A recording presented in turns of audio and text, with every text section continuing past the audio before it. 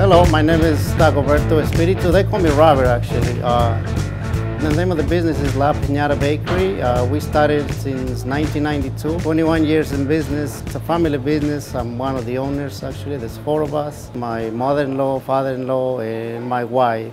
We were known, well known by uh, making and coming out with a tres leches cake, which is not many places make it. And since we come from the section where there's Spanish people, we were able to make it, you know, coming up with the idea. But not only that, I mean, like I said, through all these years, we coming up with different ideas. And now we got different uh, type of tres leches, which, you know, you can choose from three or four different type of tres leches that, that we carry.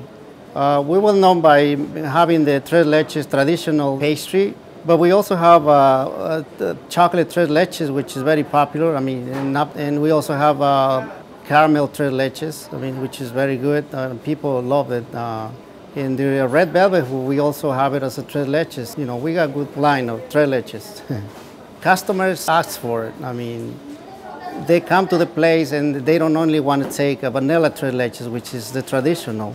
You know, we offer chocolate, we offer uh, caramel, and, and, they like it. They like to choose from four different types of uh, tres leches, which is really, it's really good. It's been successful there's customers that don't, do not want to take a whole cake, for example. So we of making uh, individual pastries, which they can also take and taste, you know, the four pieces at once. The things that makes it so special is that it's not just a dry sponge with uh, uh, sweet syrup.